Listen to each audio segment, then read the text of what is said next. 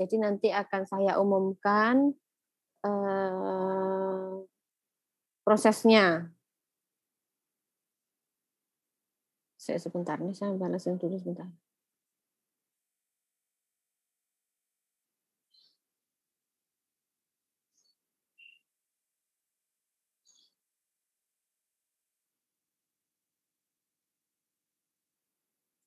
Oke, uh, materi hari ini nggak terlalu banyak dan karena setiap hari Senin ada upacara ya, seperti biasa kita agak mundur. Upacaranya tadi agak lumayan lama, biasanya cepat.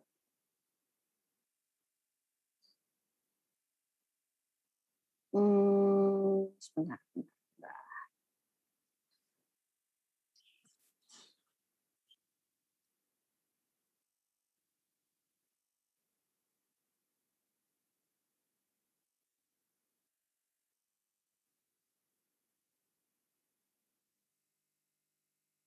Oke. Um, hari ini kita membahas mengenai communications processes and conflict management ya. Jadi uh, salah satu bagian yang paling penting di dalam pengelolaan konflik yaitu adalah komunikasi ya. Saya coba share screen, saya coba slideshow dulu.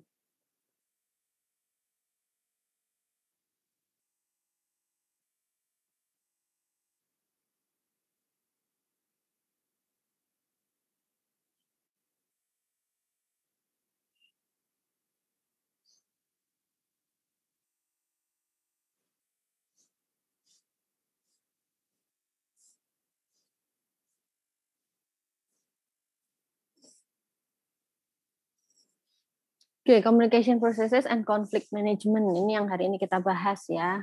Uh, communication is central to experience as management of conflict. Jadi uh, komunikasi itu salah satu hal yang paling penting di dalam bagaimana kita uh, berkonflik dan bagaimana kita mengelola sebuah konflik ya kak. Seperti yang kita ketahui ya kita tuh mau ngapain itu pasti melakukan komunikasi ya. Bahkan komunikasi sendiri bisa jadi sumber konfliknya gitu ya.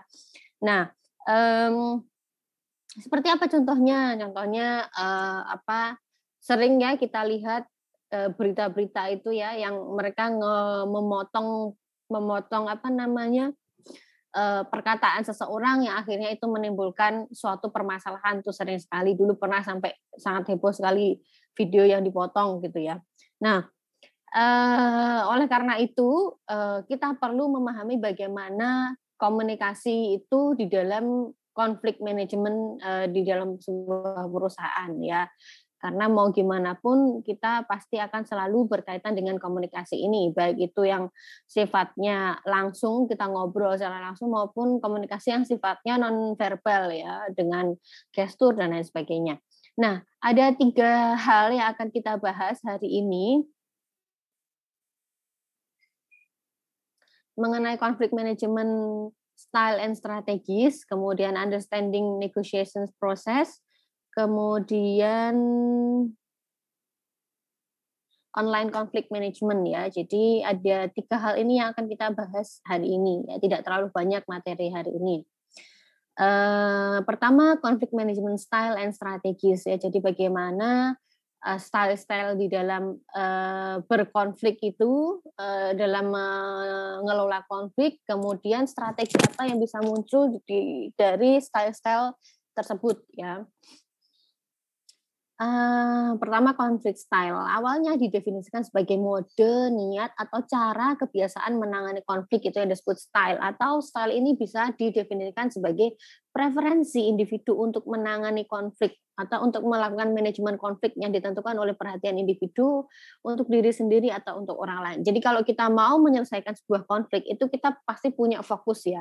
Kita itu mau fokusnya menyelesaikan concern kita sendiri atau hal yang uh, perhatian kita sendiri atau kita juga akan menyelesaikan concern yang berkaitan dengan orang lain gitu ya. Misalkan di dalam sebuah perusahaan berarti kita pasti akan uh, sedikit banyak mengikut sertakan orang lain itu seperti apa pandangannya terhadap konflik yang kita alami seperti itu. Nah, biasanya peneliti berfokus pada lima gaya integrating, forcing, smoothing, avoiding, and compromising ya berdasarkan dua dimensi kooperatif ya. Jadi uh, lima gaya ini didasarkan pada pada dua dimensi yaitu kepedulian terhadap orang lain dan kepedulian terhadap diri sendiri atau cooperativeness dia mau nggak tuh kooperatif dengan orang lain dengan assertiveness atau dia sifatnya menolak atau lebih peduli terhadap diri sendiri. Nah, kita akan bahas gaya-gaya ini satu persatu ya. Oke, okay, um, pertama integrating ya tadi salah satu uh, gaya atau style di dalam kita mengelola konflik yaitu integrating.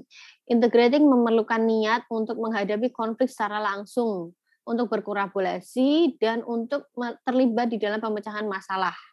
Sementara forcing atau bersaing bergantung pada kekuatan posisi dan daya saing untuk mengatasi konflik. Individu yang lebih memilih smoothing cenderung untuk mengakomodasi orang lain, sedangkan pihak yang memilih avoiding sering menarik diri dari tempat kejadian baik secara fisik maupun psikologis. Compromising mengacu pada preferensi untuk bertemu pihak di tengah jalan atau membagi perbedaan. Uh, meskipun terkait dengan perilaku gaya konflik diasumsikan relatif stabil di seluruh situasi. Jadi ketika kita menjalani atau sedang mengalami sebuah konflik itu kita bisa melihat ya sebenarnya uh, orang ini itu bisa diklasifikasikan style dia dalam berkonflik itu ke dalam lima hal ini yaitu mengintegrasikan, forcing, memaksa, kemudian smoothing, avoiding, menolak atau compromising ya. Jadi kalau misalkan dia forcing ya berarti dia artinya maksa. Avoiding berarti dia menarik diri, compromising berarti dia melakukan kompromi gitu ya. Smoothing dan integrasi dengan compromising itu cenderung mirip. Intinya mereka mau mengakomodasi pihak lain gitu ya. Dengan style-style yang berbeda.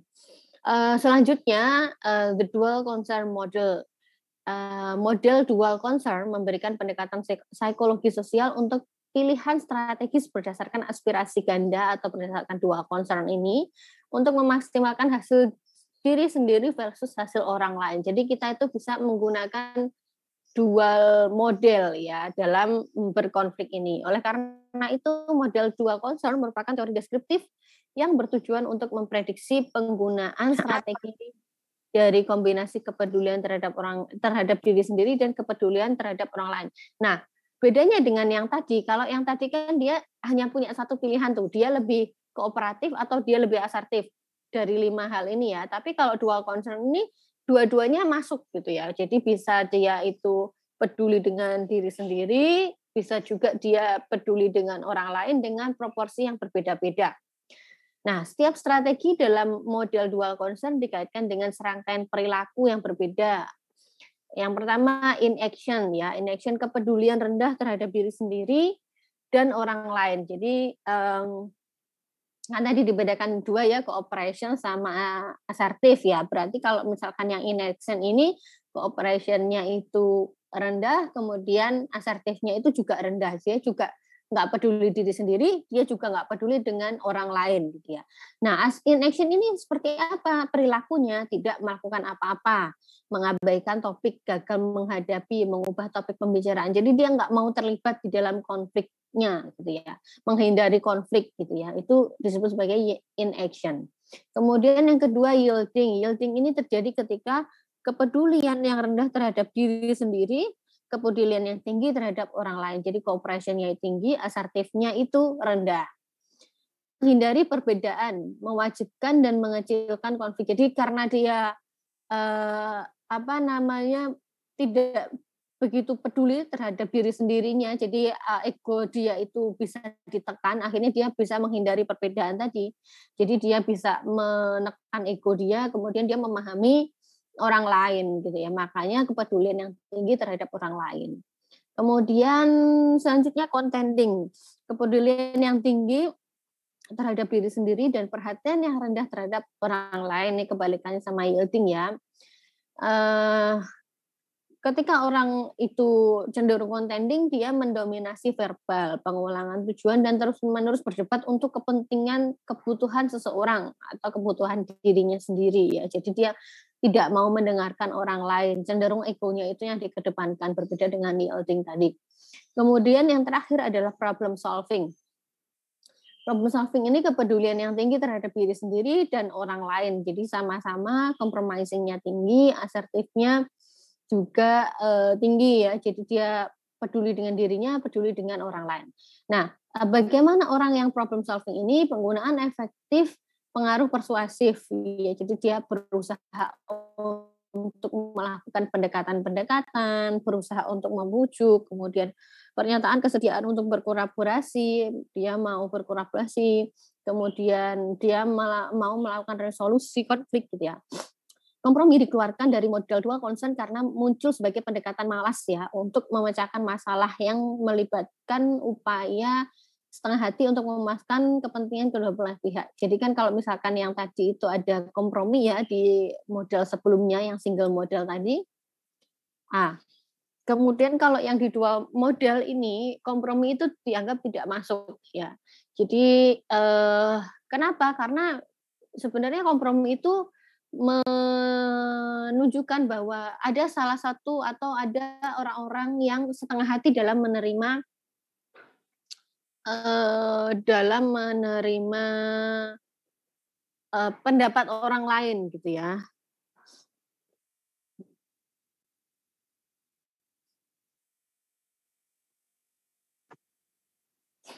Oke. Nah, Ibu, ini eh ya gimana, Ibu? Kurang paham Ibu yang tadi yang terakhir kalimat terakhir itu kurang paham saya. Oh ya, oke, okay. Karima ya. Oke, okay, jadi Uh, kalau problem ini bedanya ya, karena ini mirip dengan problem solving ya. Kalau problem solving itu kan kalau misalkan compromising tadi dia ketika kita melakukan kompromi di sini ya, dia dianggap sebagai salah satu style. Di mana salah satu style ini kan dia ada gini Mbak, ada single style, ada uh, dual concern ya. Kalau single style berarti ini berdiri sendiri. Kalau dual concern itu pertimbangannya ada dua gitu ya. Nah, kalau single style itu pertimbangannya adalah uh, kooperativeness dan asertif ya. Kooperatifness itu berarti dia peduli dengan orang lain, asertif itu peduli dengan dirinya sendiri ya. Kalau kompromi itu kan artinya dia peduli pada lebih peduli pada dirinya sendiri karena kalau misalkan kompromi itu kita punya kepentingan ya kan. Dengan uh, di dalam single style ini berarti dia akan cenderung asertif, dia akan cenderung peduli terhadap diri dia sendiri. Sedangkan kompromi kalau misalkan dia dimasukkan ke dual concern model itu artinya adalah eh, kita ber misalkan saya dengan Karimah melakukan kompromi gitu ya. Eh, mau nggak mau saya ngalah dengan pendapatnya Karimah misalkan seperti itu. Nah, yang dianggap pendekatan malas itu tuh mau nggak maunya tadi itu loh. Jadi saya eh, terpaksa me, apa namanya mau terpaksa untuk mengiyakan pendapatnya Karimah meskipun saya mungkin tidak sepakat. Jadi ini dianggap sebagai uh, upaya setengah hati untuk memuaskan kepentingan kedua belah pihak ya. Jadi kenapa kompromi tidak dimasukkan ke dual concern model. Jadi yang dimasukkan hanya empat ini gitu ya. Bisa dipahami nggak Mbak?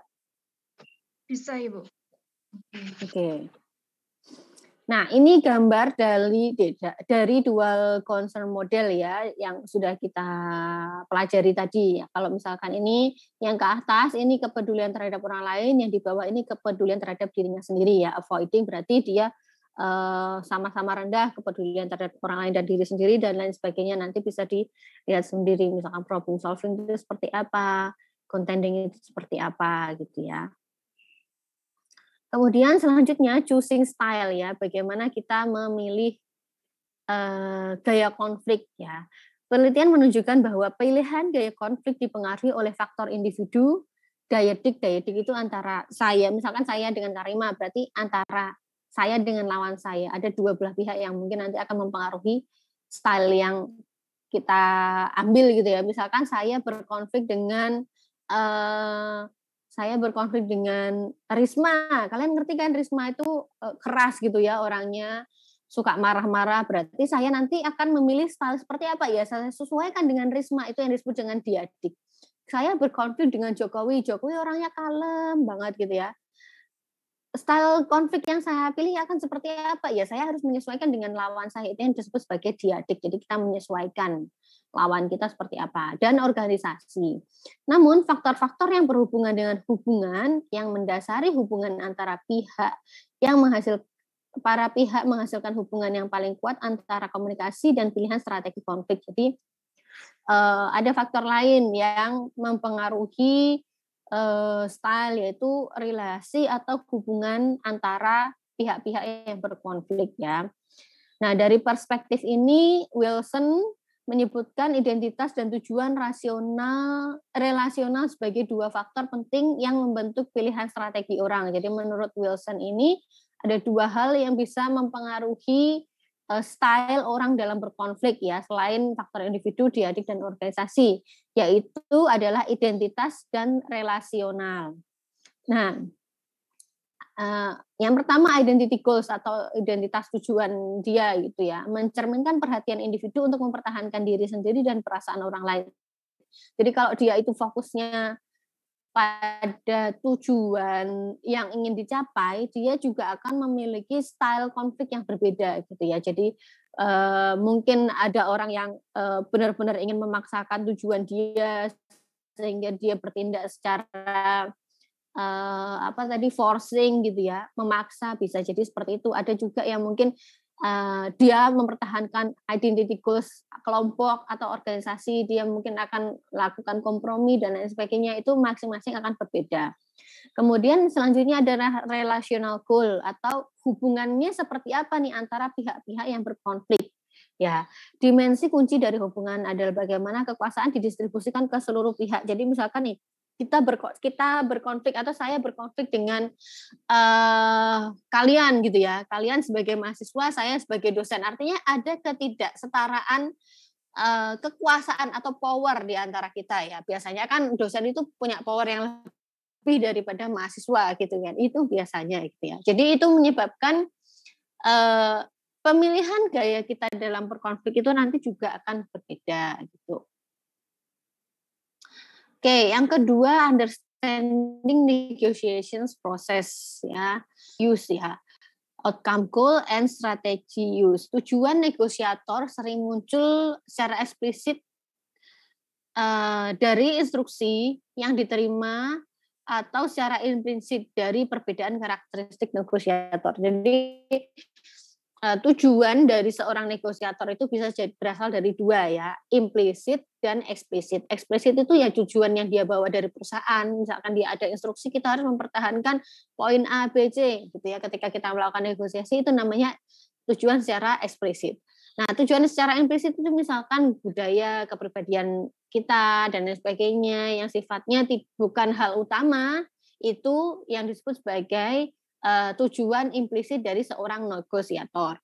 Nah, negosiator yang menganut orientasi kooperatif lebih cenderung mengekspresikan dukungan untuk pihak lain. Jadi uh, sebenarnya buku atau chapter ini itu mendeskripsikan ya penelitian-penelitian atau rangkuman penelitian yang dilakukan oleh banyak sekali uh, peneliti gitu ya. Jadi ini hasil dari penelitian dari rangkumannya ternyata negosiator yang dia itu orientasinya kooperatif itu dia lebih cenderung mengekspresikan dukungan untuk uh, lawan dia ketika dia melakukan uh, negosiasi. Selain itu, orientasi kooperatif mengurangi efek kekuatan yang tidak setara. Tadi yang uh, relation tadi ya berkaitan dengan power tadi ya, menghasilkan perilaku yang lebih kooperatif dan kurang kompetitif dan sebaliknya. Jadi perilaku orang yang tidak uh, kooperatif itu dia akan lebih cenderung untuk menghasilkan perilaku yang tidak kooperatif gitu ya. Jadi ini sebaliknya.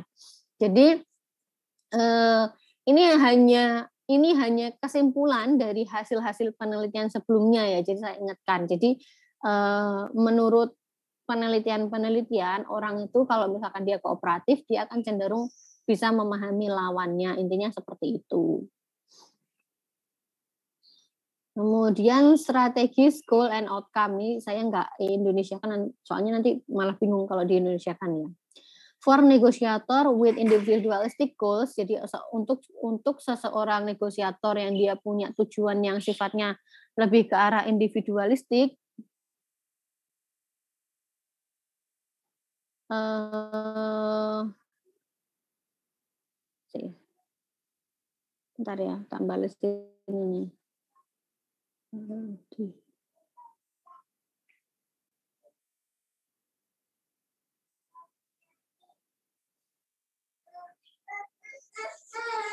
Oke, jadi untuk negosiator yang dia punya tujuan yang eh, cenderung sifatnya individualistik, a bargainer's approach to information exchange influence self and joint outcome. Ya, jadi bagaimana dia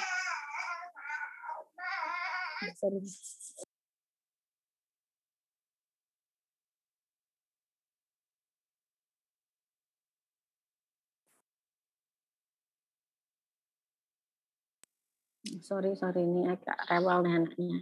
Ini kebetulan saya ketemu background PPT yang konsepnya Halloween kesukaan anak saya.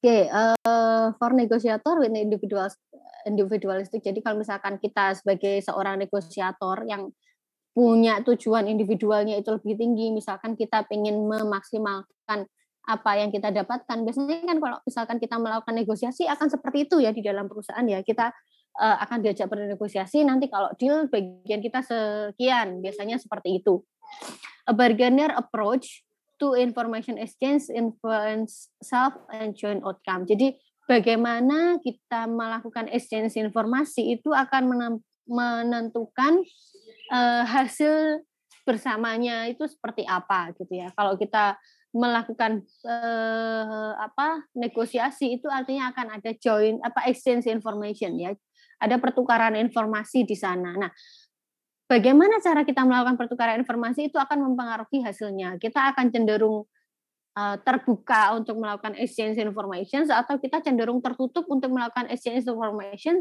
itu punya hasil yang berbeda-beda. Nah, hasil yang berbeda-beda tadi uh, ada banyak ya jenisnya di uh, perusahaan. Makanya saya tidak rangkumkan di sini karena hasilnya bisa sangat beragam sekali ya tergantung Eh, perusahaannya juga gitu ya. Kemudian culture, emotions, and strategic choice ya. Uh, exogenous factor other than social motive also influence the frequency of the frequency with which negotiator choose cooperative or competitive strategy. Jadi uh, ada faktor-faktor yang menyebabkan seseorang itu bisa memilih strategi-strategi yang sifatnya kooperatif atau kompetitif uh, sifatnya ya. Kooperatif itu macam-macam, kompetitif juga macam-macam, tapi arah kecenderungannya kan ke terhadap dua itu.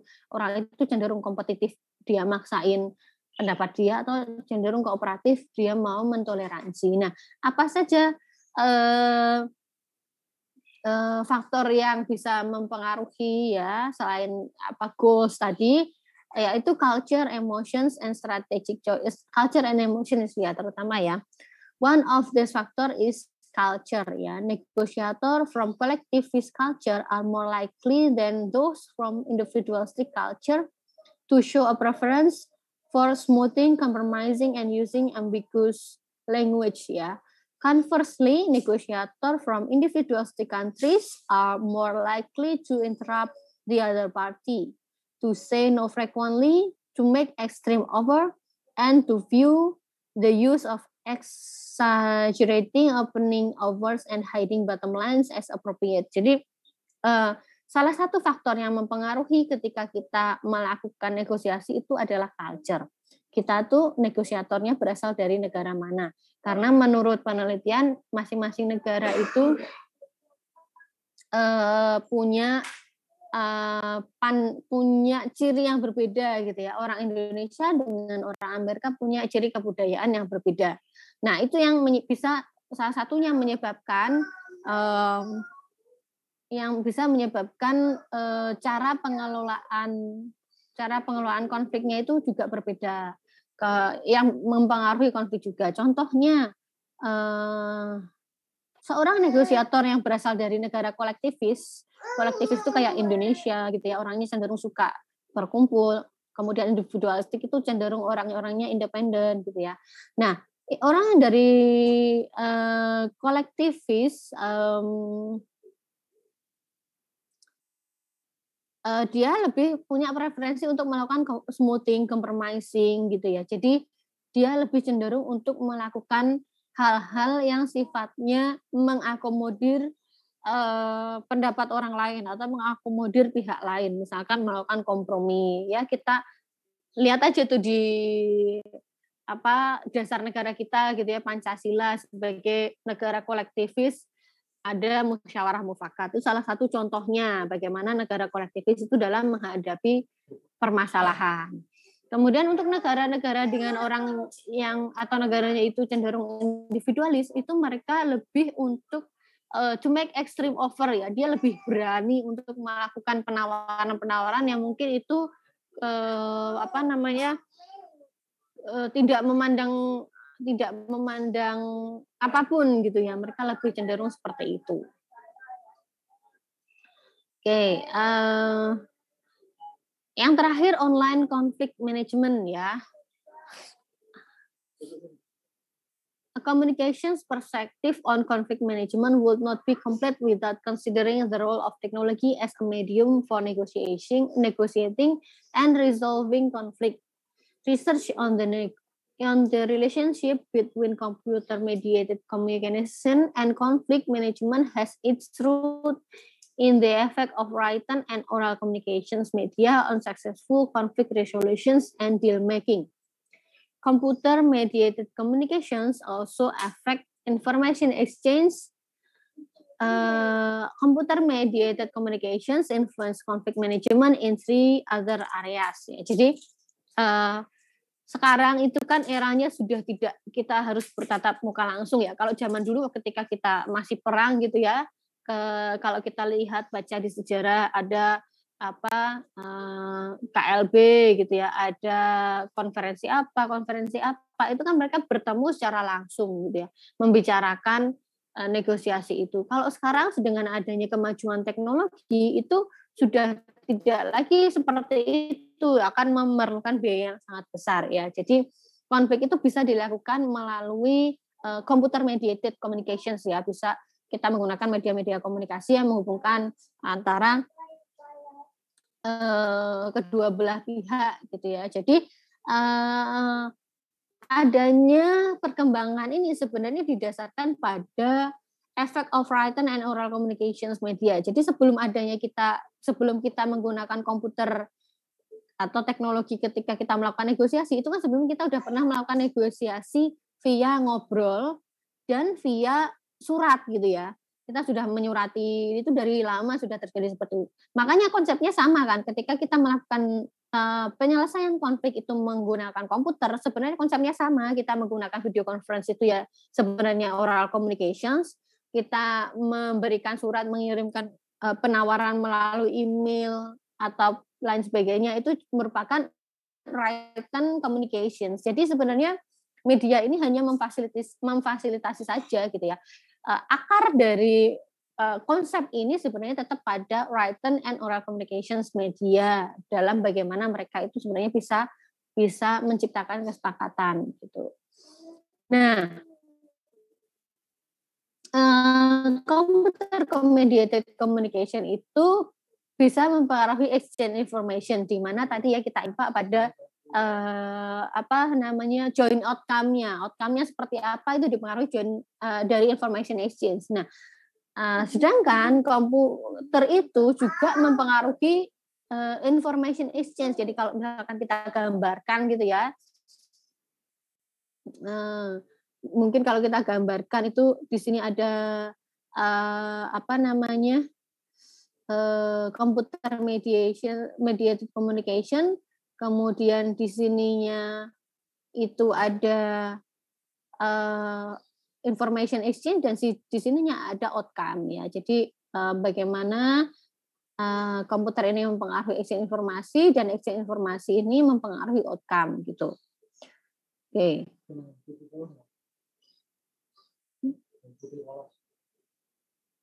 Oh, ini ya?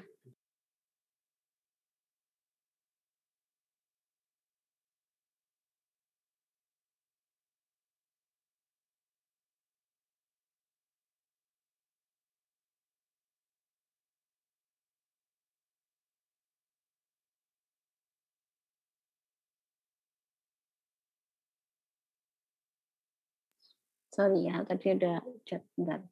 Oke, uh, kenapa itu bisa mempengaruhi? Karena ketika kita menggunakan computer mediated communication itu meningkatkan anonymity ya. Jadi kita bisa berkomunikasi itu secara anonim dan orang itu lebih cenderung untuk mengurangi information exchange di dalam uh, computer mediated communication karena semua hal itu kan terekam ya di dalam komputer ya ada rekapnya. Sedangkan kalau misalkan kita ngomong negosiasi langsung itu kan nggak ada rekap. Jadi kalau misalkan kita ada sesuatu uh,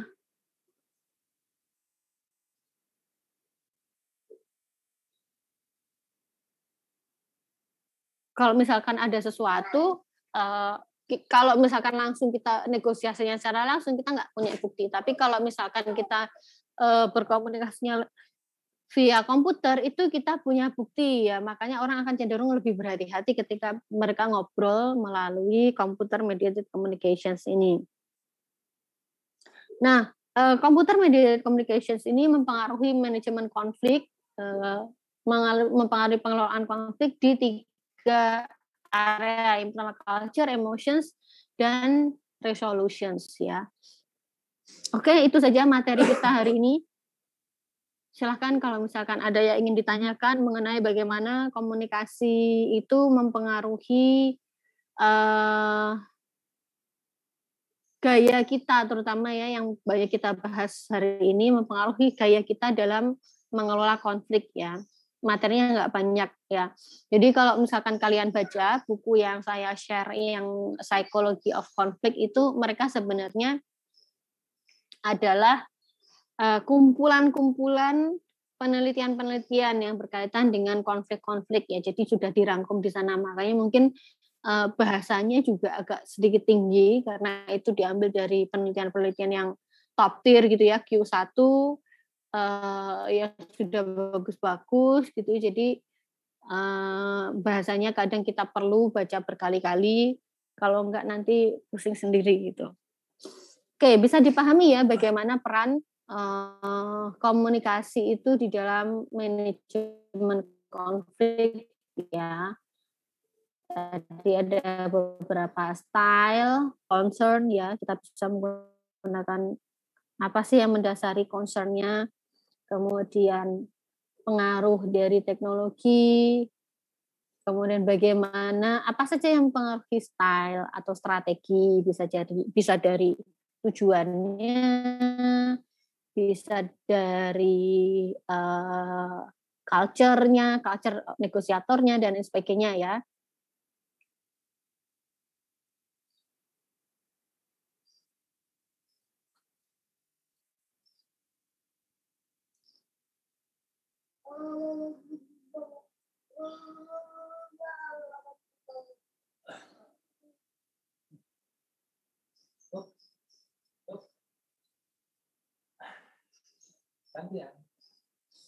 Oke, uh, tidak ada pertanyaan ya. Nanti sebentar, saya cek dulu di Google Classroom-nya. Ini ini pertemuan ke enam kita kalau nggak salah ya. Kita sekarang sampai materi yang ke lima. Eh, kita, saya saya di kelas ini nggak masuk berapa kali ya? Satu kali atau dua kali?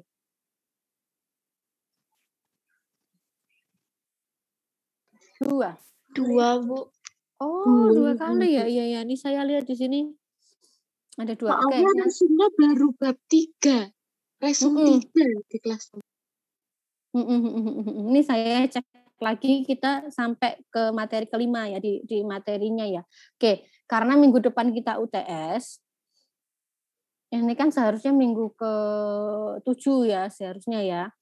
Jadi nanti yang dua materi ini, dua bab ini akan saya berikan video rekamannya ya. Jadi minggu depan kita akan tetap UTS. Nah materinya mulai dari yang pernah kita bahas sampai nanti dua video yang saya upload ya. Jadi uh, sampai situ. Nah tipikal pertanyaannya saya biasanya akan kombinasi pilihan ganda dan IC. Uh, kemudian kombinasi pilihan ganda dan IC, terus apa lagi ya? Uh, waktu pengerjaannya biasanya akan sangat singkat karena online kalian boleh open book, kemudian tetap dilarang mencontek. Biasanya akan kelihatan loh yang nyontek tuh kelihatan banget. Bahkan kemarin ada ya uh, yang nyontek kemudian salah, kemudian protes nilai. Uh, bukan di saya sih ini ya uh, di salah satu dosen ya, kemudian protes nilai, kemudian dikasih tahu nih Mbak jawabanmu sama dengan ini. Itu kan, dia bilang jawabnya apa coba? Saya nggak nyontek kok Bu, saya cuma ngumpulin jawaban dari teman-teman, katanya kayak gitu. Ada loh yang kayak gitu. Jadi hati-hati ya, itu bisa dilacak dan bisa diketahui itu. Jadi usahakan uh, menjawab dengan bahasa kalian sendiri. Oke. Biasanya saya akan kasih 10 pilihan ganda 5 IC itu biasanya, tapi nanti kita akan menyesuaikan. Hamin satu akan hmm. saya umumkan seperti apa soalnya, jadi supaya kalian uh, bisa memahami. Kemudian untuk jam UTS-nya silahkan kalau misalkan mau disesuaikan mau jam berapa hari Senin depan? Jam 8, 9 atau jam berapa? Biasanya kalau terlalu pagi nanti kalian pusing sendiri. Jam 9 boleh, Bu. Oke, jam 9 ya. Jadi nanti biar ada prepare dari pagi, nanti akan saya set uh, dari jam 9. Oke, mungkin hari ini itu saja dari saya ya. Uh, materinya tidak terlalu banyak memang mengenai konflik uh, communications and conflict management. Tidak seperti minggu kemarin yang agak lama. Uh, kalau sudah